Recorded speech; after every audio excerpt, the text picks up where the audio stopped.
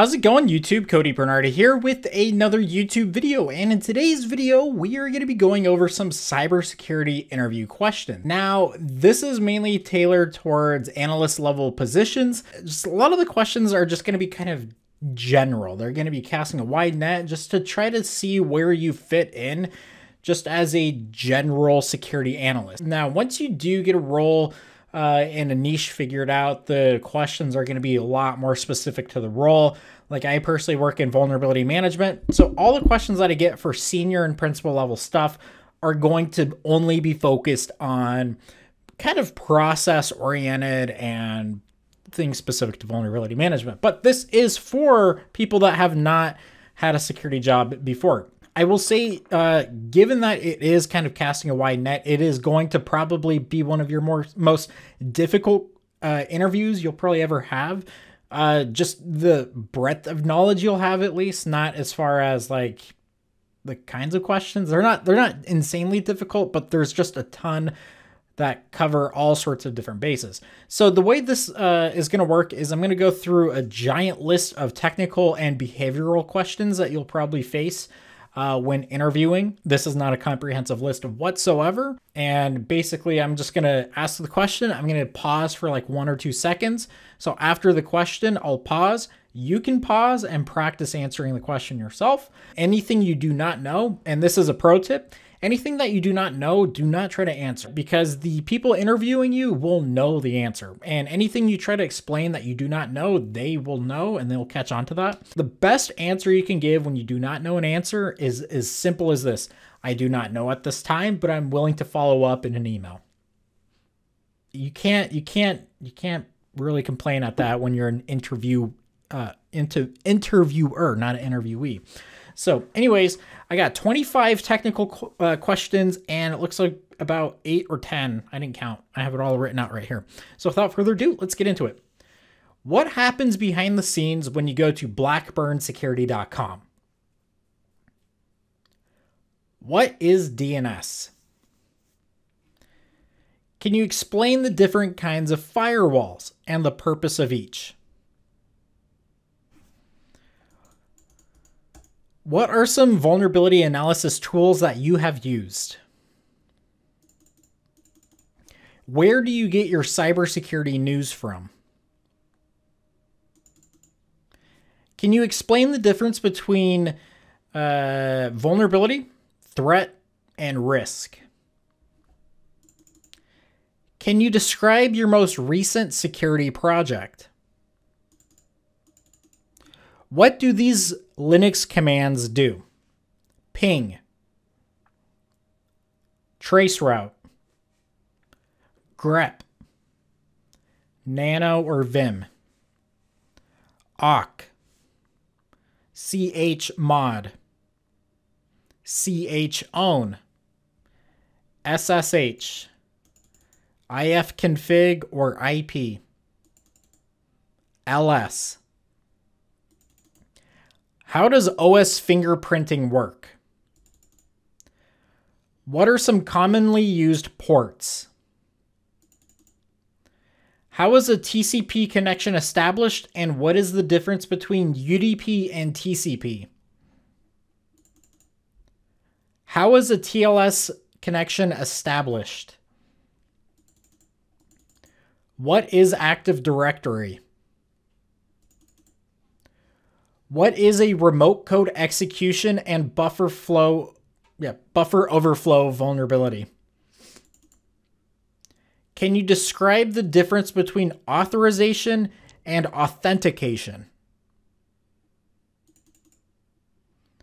What is two-factor authentication and what are the different factors you can use? What is a SQL injection vulnerability?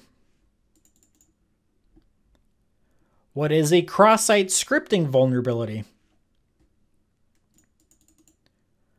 What is input validation and sanitization? Can you describe the difference between asymmetric and symmetric encryption? What is the difference between hashing and encryption? What is salting? What is the biggest security concern inside an organization? What is CVE, CVSS, and CWE? What is the difference between a router and a switch? What do you know about PCI and NIST 800 171? So that concludes a kind of general technical uh, interview questions you might receive. Um, these are some questions that I have seen throughout my time interviewing people and being interviewed.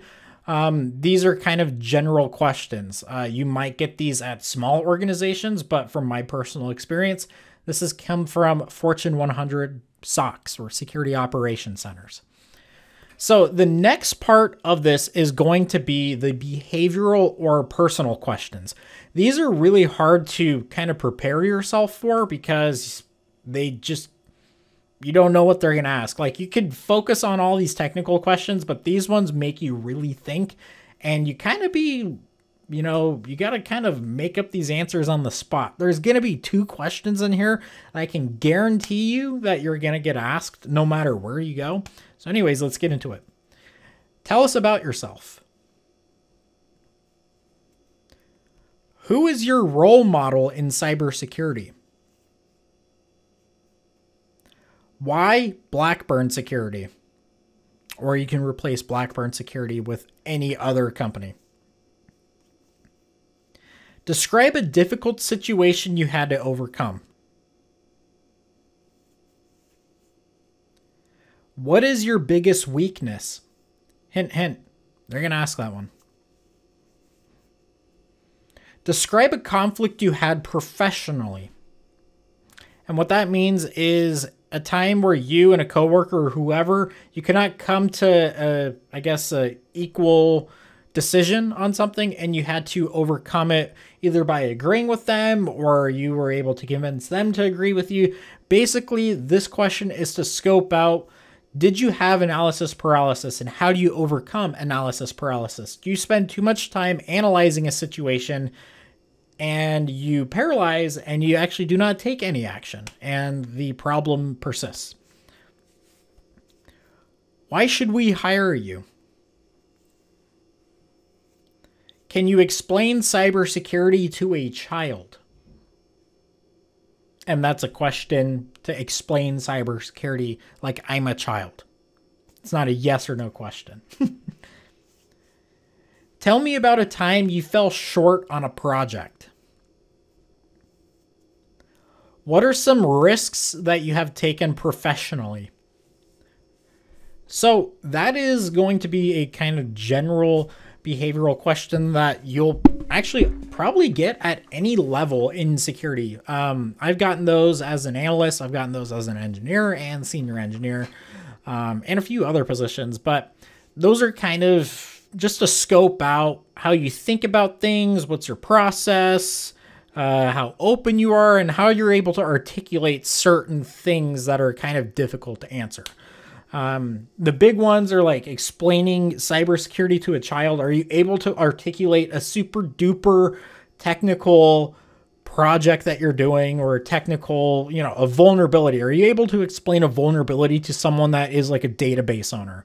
because they don't really care about CVE, blah, blah, blah, blah, blah. They just care about keeping their systems running while maintaining security compliance. Are you able to explain a complex vulnerability to them where they just leave knowing what exactly they need to do, sort of thing? Um, now, a couple things that I would say to when it when it comes time to your, your interview, uh, you can be concise if you want to, but the more you tell them, the more that you like dump your thought process on everything. Honestly, I I, I dig that. Some people, if you're going for a management position, they might want you to be more concise, you know, being able to explain something very shortly because time is money, sort of thing, you know, all that stuff. Being able to explain high level concepts very shortly, but get everything you need in that conversation. Or if you're technical, if it's a technical position, dumping your whole brain out. If you want to talk about the three way TCP handshake, have at it. If you want to talk about DNS recursion, caching, blah, blah, all that, have at it. Um, I would say another way, a good um, format you can structure the way you answer these questions is in a method called STAR situation, task, action, results. It is very simple, it's very easy to remember. I'll give you an example of a STAR question that I answered using that method. So instead of just saying, well, you know, I, uh, I, I, I fixed a vulnerability scan um, and it, you know, I was able to scan the network without any outages. That's not, I mean, it, it, it you answer it concisely, but like, let me give you another answer. Same exact result of the answer, but way more like verbose. A better response would be, so I was running vulnerability scans on a network, and every time I hit a specific operating system, those devices would go offline. So what I ended up doing was I was able to get a sandbox environment of that operating system with the same load and scan them in a controlled environment. I would scan them using our normal option profile and see what would happen to the operating system. At the same time, I was grabbing logs, resource utilization, and timestamps, and I was able to figure out that it was indeed our scan causing these systems to go offline. So what I ended up doing was fine tuning the scans. So instead of scanning those systems for eight minutes, it would scan them for two hours. I then conducted the same exact scan with the same exact devices, but with a longer scan time, and I did not cause a spike in resource utilization, and I was able to scan the environment uh, without any sort of disruptions. I was able to hit every single one of those. And let me tell you, that is like, oh, sort of thing. So you start. Pro tip. Everyone loves it. So anyways, that is it for this video. If y'all enjoying content like this, please hit the thumbs up button. Hit the subscribe button with the bell notification enabled. Um, yeah, also join my Discord, and I got some books down below. I'm also live and active on TikTok. If you want to follow me on TikTok, I'll just make some quick hot take videos on there, and y'all can follow me on there. Anyways, that's it. Y'all take care. Goodbye.